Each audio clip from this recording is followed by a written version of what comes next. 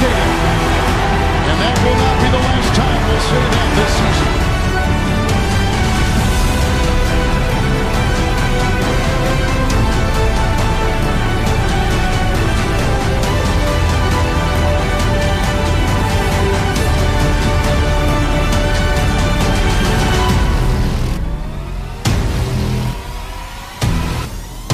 throws left side of the end zone. Leaping right yeah, at the